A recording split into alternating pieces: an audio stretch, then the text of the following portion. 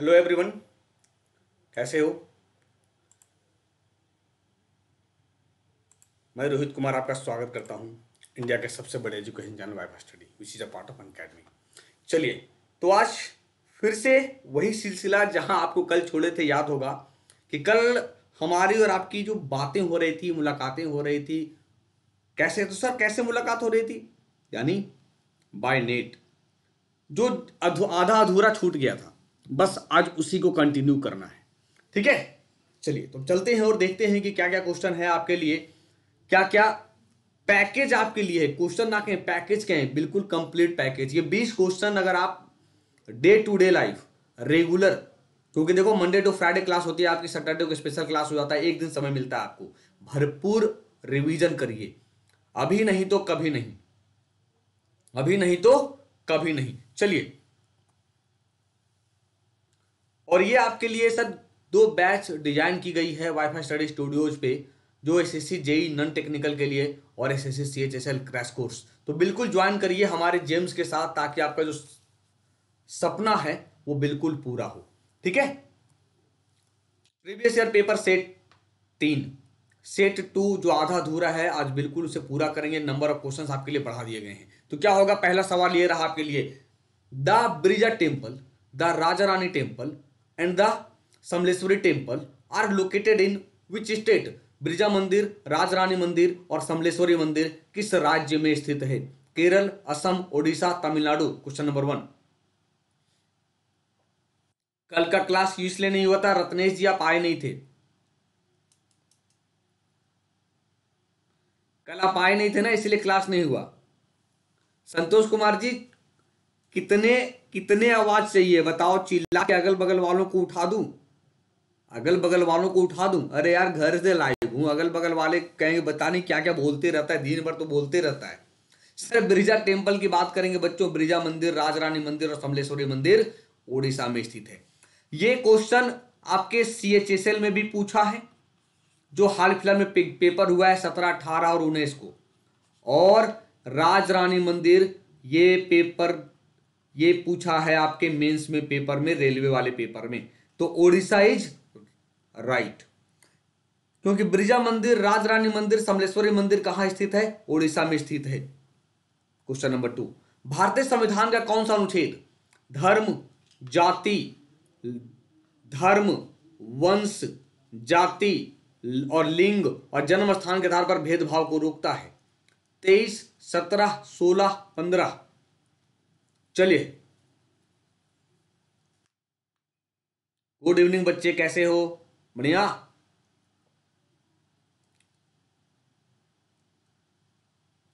वही कह दिन सीजीएल 2020 मार्च क्या लिख रहे हो बता दो पूरा। तो सर पंद्रह R R C S P, सत्रह वाले कई लोग सत्रह कह रहे हैं, भैया सुधर जाओ अभी भी। R R C S P की बात करता है ये, R R C S P की बात करता है, यानी religion race caste sex place of birth के आधार पर हम भेदभाव को रोक सकते हैं।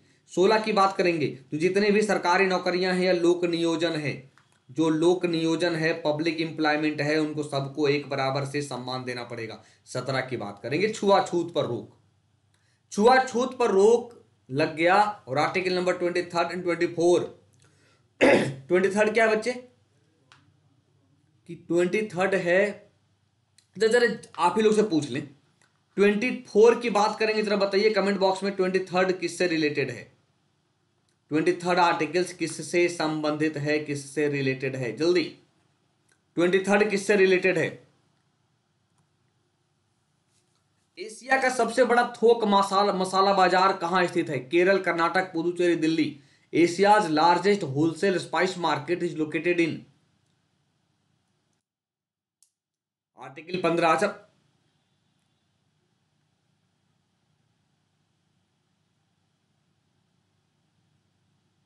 तेईस की बात की बताओ, तेईस क्या होगा? डायरेक्टर अनुभव सिन्हा, बहुत बढ़िया। खूब मूवी देखते हो, इसीलिए मूवी के नाम तुरंत याद आता है।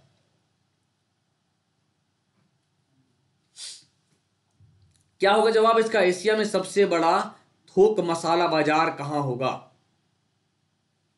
ताइस बाल मजदूरी, जबरन मजदूरी। अच्छा क्या होगा बच्चे इसका जवाब? अरे यार, काहे केरल के पीछे लगे हो? बेचारा, केरल ने क्या बिगाड़ा आपका? केरल केवल प्रोडक्शन करता है, इसीलिए आप सब जवाब केरल दोगे। केरल कहता है कि भैया, हम तो क्या करते हैं? हम केवल प्रोडक्शन करते हैं, उत्पादन करते हैं। तो उत्पादन करते हैं, बाज़ार थोड़े है। यहाँ मैंने क्या पूछा? स्पाइस मार्केट पूछा। आपने क्या जवाब दिया? प्रोडक्शन के बारे में। अल्लाह माफ़ करे, क्या होगा? और ये क्वेश्चन भी आस्क्ड है, पूछा गया क्वेश्चन है। केरल वालों, अभी भी तो सुधर जाओ, अभी भी तो जवाब बदल लो अपना। अब देखो, एक नया बाबा दिखा, पुडुचेरी। लगे केरल के पीछे हाथ धोके सैनिटाइजर लगाकर। सर, खारी बावली दिल्ली की एक सड़क है। भारत अपने थोक किराना और एशिया के सबसे बड़े थोक मसाले बाज़ार में जाना जाता है, जो चावल और चाय जैसे सभी प्रकार के मसाले नट्स जड़ी बूटी और खाद्य उत्पादों की बिक्री करता है। बिक्री करता है। तो काहे गलती कर बैठे?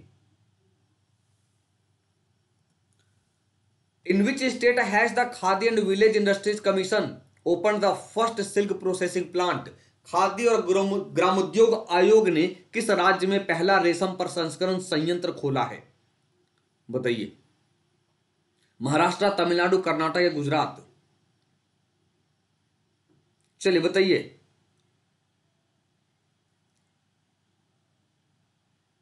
वर्षा जी कह रही है मेरा राइट है तो हो सकता है। मुझे तो दिखा नहीं।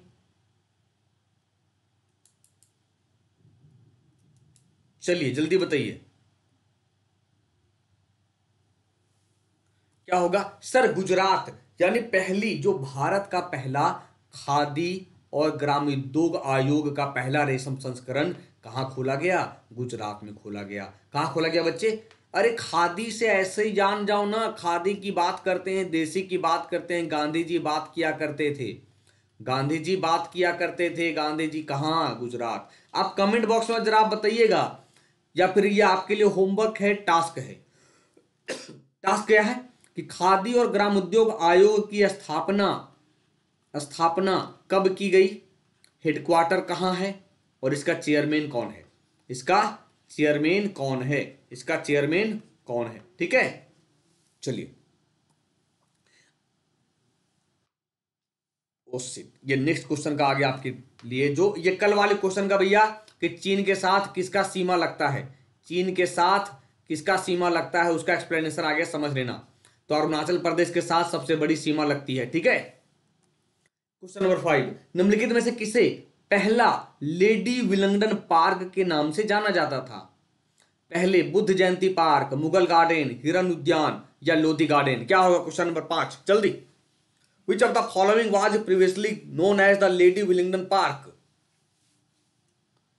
कोई कह रहा है उन्नीस सौ चौवन, कोई कह रहा है उन्नीस सौ अट्ठावन, कोई कह रहा है उन्नीस सौ पचपन एक तो ठीक है गुजरात के सुरेंद्र नगर में, लेकिन क्या कुछ भी मत बोल दो। लोधी गार्डन, जो कहाँ है? सर, लोधी गार्डन की बात करेंगे तो दिल्ली में है। देखने वालों का सपना टूट गया क्यों? कोरोना ने दरवाज़ा बंद कर दिया है दिल्ली का। कोरोना ने क्या किया है? गेट लगवा दिया है। केजरीवाल ने कह दिया, केजरीवाल सरकार साहब ने कि भैया लॉकडाउन यानी ताला लगाओ। कोई ना अंदर आए, ना कोई बाहर जाए। ठीक है बच्चे? तो कहाँ? लोधी गार्डन में है। कहाँ लोधी गार्डन? सही चलिए। कर्नाटक के किस ज़िले में ब्रह्मगिरी वन्य जीव अभ्यारण्य स्थित है? हसन, मंडिया, उडुपी या Kodagu? In which district of Karnataka is the Brahmagiri wildlife sanctuary located कहाँ होगा? तो ये कहाँ है लोकेट है कोडागु में? यानी कर्नाटक के किस ज़िले में ब्रह्मगिरी वन्य जीव अभ्यारण्य स्थित है? ये कोडाकू में कोडागु में स्थित है। कहा? कोडागु में स्थित है। ब्रह्मगिरी वन्य जीव अभ्यारण्य, कोडागु, जिसे हम कुर्ग कहते हैं आज। क्या कहते हैं बच्चे? कुर्ग, कर्नाटक राज्य में स्थित है, जो पश्चिमी घाट का हिस्सा है। तो पश्चिमी घाट और पूर्वी घाट में गलती मत करना। पश्चिमी घाट ये पूरा, जिसे हम सह्याद्री के नाम से भी जानते हैं। जिसे हम सह्याद्री के नाम से भी जानते हैं, जिसकी लेंथ कितनी है? 1600 किलोमीटर। लेंथ कितनी है बच्चे? 1600 तो यहाँ पे कर्नाटक होगा, यहाँ पे केरल है, यहाँ पे यानी कितने? पाँच राज्य, गुजरात, महाराष्ट्र, गोवा, कर्नाटक और केरल। तांबा सल्फेट के घोल से तांबा को पुनः प्राप्त करने के लिए प्रयुक्त धातु है। यानी तांबा सल्फेट का जो विलियन है, घोल है, उससे हम तांबा को पुनः प्राप्त कर सकते हैं। तो किसके मदद से? चलिए, सोडियम।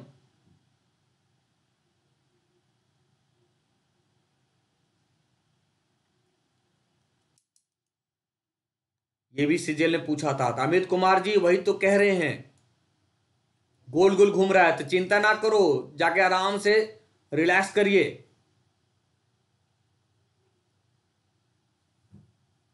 ये क्वेश्चन मैंने कराया नहीं था बच्चा, ये क्वेश्चन मैं बता दूँ आपको कि इस बार पेपर में पूछा गया है। इसलिए मैंने कहा प्रीवियस ईयर के पेपर के जो हैं, सो पूछे जा रहे हैं।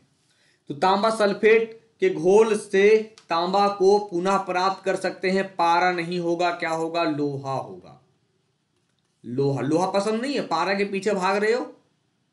क्या किया बेचारे पारे ने? वो तो एक ऐसा सॉलिड है सॉरी एक ऐसा मेटल है जो लिक्विड फॉर्म में पाया जाता है। तांबा सल्फेट से तांबा को प्राप्त करने के लिए लोहा का उपयोग करते हैं। तो कॉपर सल्फेट जिसका केमिकल फॉर्मूला की बात करेंगे, क्या है? कॉपर टू सल्फेट की बात जो रासायनिक केमिकल एसओ फोर है। पौधे अपने पोषक तत्व तो किससे प्राप्त करते हैं बच्चे? क्लोरोफिल वातावरण लाइट या मिट्टी। Plants receive their nutrition mainly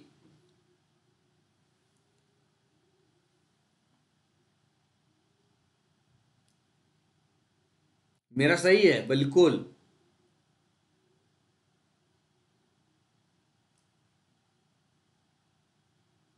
on academy पर क्लास नहीं मिली। अच्छा चलो टेलीग्राम पर लिंक डाल देंगे, ठीक है? ठीक है। भावना मैंने देख लिया, डाल दूँगा, परेशान होने की ज़रूरत नहीं खे बुझा गई ना?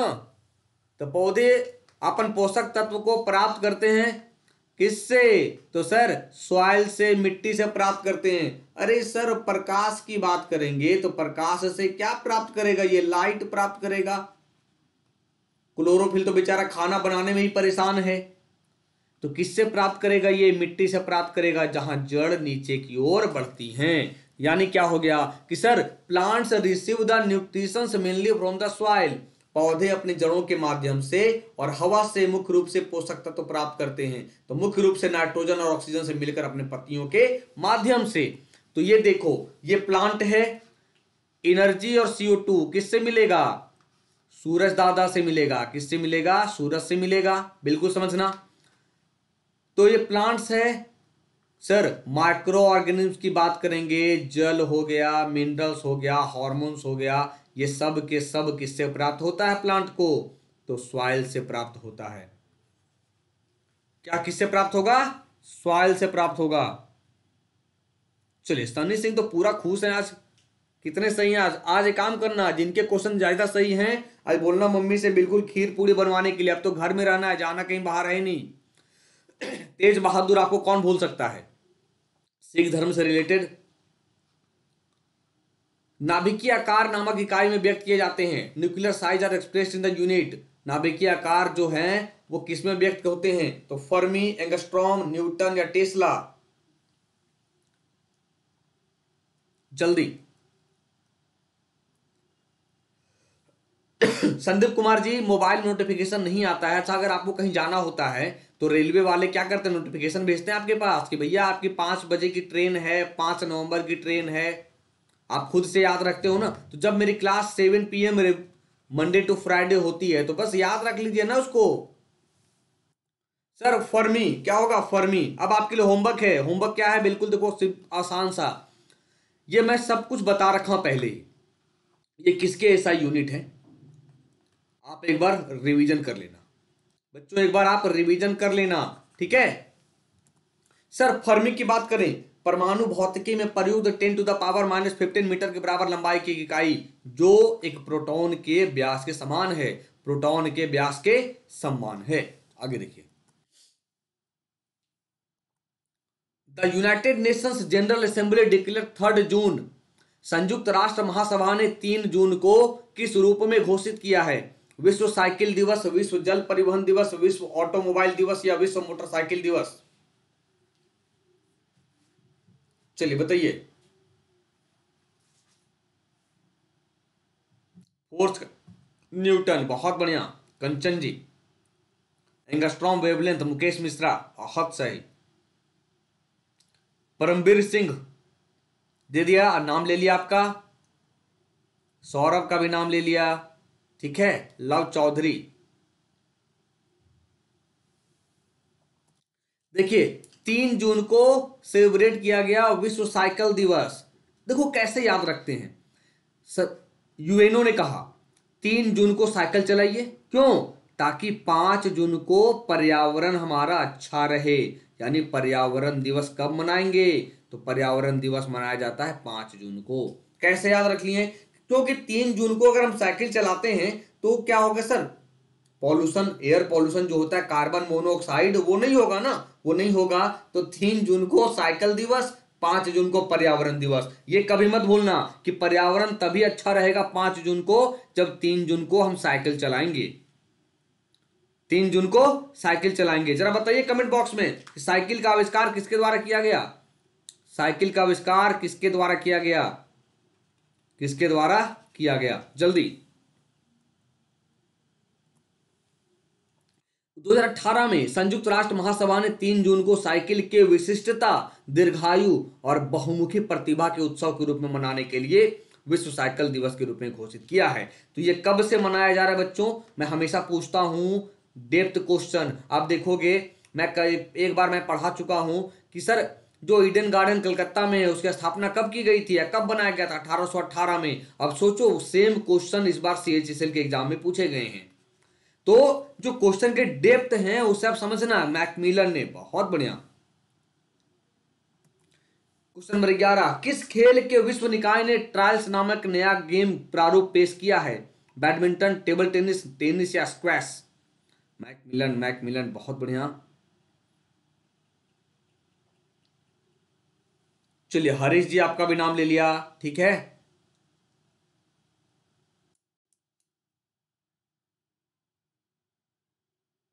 अरे देखो, मोबाइल से ना कमेंट दिखता है यार, मोबाइल में दिखता नहीं है। पहले क्या होता था स्टूडियो होता था तो वहाँ बड़े बड़े एलईडी लगे होते थे, वहाँ से दिख जाता था कमेंट अब देखो, मोबाइल में जिसका नाम दिख गया, उसका नाम ले लिए। विश्व जो निकाय है, ट्रायस नामक एक गेम लाया गया। ऐप बुक गेम प्रारूप किसके द्वारा? बैडमिंटन। तो सर, बैडमिंटन विश्व महासंघ ने बैडमिंटन खेल के दो नए प्रारूप, एयर बैडमिंटन और ट्रिपलेस लॉन्च किए हैं। क्यों? कि पारंपरिक बैडमिंटन के विपरीत एक इंडोर गेम है। एयर बैडमिंटन एक आउटडोर गेम है। ये क्या होगा? इंडोर गेम है, ठीक है? भारत में केंद्रीय राजस्व अधिनियम अधिनियम, राजस्व अधिनियम किस वर्ष में स्थापित किया गया था? भारत में केंद्रीय राजस्व अधिनियम की बात करें तो किस वर्ष में प्रख्यापित किया गया था? मेरे शिफ्ट में आया था, जबकि जेपी यदुवंशी। चलिए, नाम ले लिया। मृत्युंजय जी, आपका भी नाम ले लिया। खुश है, रोहित शर्मा। शिवली 2.0 पता नहीं क्या लिखिए यार। तो सर भारत में केंद्रीय राजस्व अधिनियम की बात करेंगे किस वर्ष लाया गया? तो ये लाया गया 1963 में उन्नीस में। उन्नीस में। किस वर्ष भारतीय क्रिकेट टीम दूसरी बार पुरुषों के एक दिवसीय विश्व कप के फाइनल में पहुँची? 2003, 2011, 2015, 2007 चलिए। पांडव कुमार कौन भूल सकता है आपको? छोटी शर्मा कह रहे मेरे शिफ्ट में आया था। चलिए।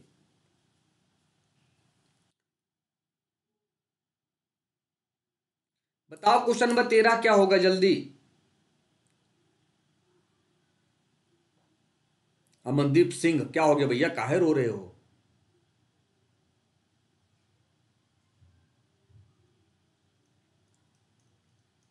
सर, किस वर्ष भारतीय क्रिकेट टीम दूसरी बार पुरुषों के एक दिवसीय विश्व कप के फाइनल में पहुँची? फंस गए बाबा के जाल में। मैंने फाइनल में पहुँची, पूछा। मैंने पूछा, फाइनल में जीता? अब तेरा क्या होगा, कालिया? वही होगा सरदार जो मंजूर खुदा होगा। अरे भैया क्वेश्चन तो पढ़ लो। कहते हैं मैक्सिमम टाइम दीजिए क्वेश्चन को। कहा फाइनल में पहुँची। अगर क्वेश्चन कहता, जीता, तब कहते, अब 2011 याद करिए ना सर, सौरव गांगुली के कप्तानी में पहुँचा था, जो ऑस्ट्रेलिया फाइनल में था, तीन सौ उनसठ रन बना दिया था ऑस्ट्रेलिया ने। सहवाग एक तरफ़ से बैटिंग कर रहा था। पूरा कच्चा चीटा खोल दू? कैसे गलती करेंगे? ऐसे ऐसे क्वेश्चन गलती करेंगे। सिलेक्शन कैसे लेंगे बताओ। रिकी पॉन्टिंग कैप्टन था उधर। तो सर, भारतीय क्रिकेट टीम दो बार की विश्व चैंपियन है? उन्नीस सौ तिरासी के क्रिकेट विश्व कप के जीतने के बाद 2011 में घरेलू ज़मीन पर श्रीलंका पर विजय प्राप्त की एक बहुत बड़ी उपलब्धि है, जो कहा? महेंद्र सिंह धोनी के कप्तानी में। वे 2003 क्रिकेट विश्व कप के फाइनल में और चार बार सेमीफाइनल में पहुँची है। यह भी क्वेश्चन बनेगा आने वाले समय में कि सर, कितनी बार ये सेमीफाइनल में पहुँचा भारत? उन्नीस सौ सत्तासी, उन्नीस सौ छियानबे दो हज़ार पंद्रह, दो हज़ार उन्नीस।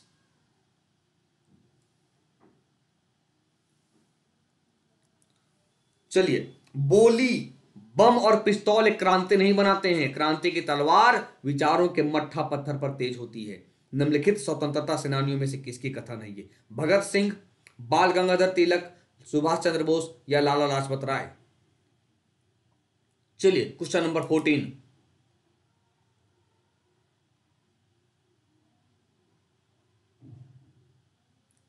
बीए के बाद क्या करें? अरे यार ग्रेजुएशन है बीए के बाद बैचलर ऑफ़ एजुकेशन बीए के बाद क्या करोगे बैचलर ऑफ़ आर्ट्स के बाद? तैयारी करिए एसएससी के, अगर आप तैयारी नहीं करना चाहते हैं पढ़ना नहीं चाहते हैं। तो सिंपल सा तरीका है, अब तो आपकी एज इक्कीस साल हो ही गई है। घर वालों को बोलिए, सर, ब्याह कर दो हमारा। दो ही चीज़ हो सकता है, या तो तैयारी करें। क्या होगा, तैयारी करो अभी, शादी ब्याह का सोचना भी नहीं। भगत सिंह, सर, कहता है, सर, बम और पिस्तौल क्रांति नहीं बनाते हैं, आवाज़ बोली में क्रांति बनता है, बोली। इसलिए कहते हैं, सर मोटिवेशनल कुछ हो जाए। क्या हो जाए? मोटिवेशनल हो जाए। सर भरोसे की तमन्ना अब हमारे दिल में है, देखना है जोश कितना बाजुए कातिल में है।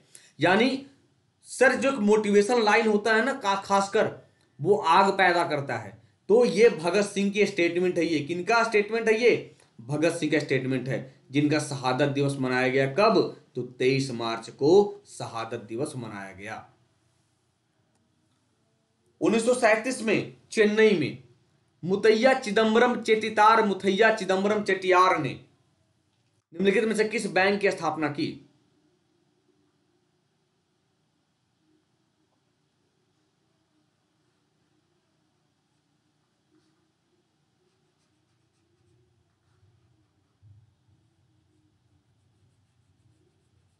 मुथैया चिदम्बरम चेटियार ने चेन्नई में किस बैंक की स्थापना की? जरा कमेंट बॉक्स में बताइए।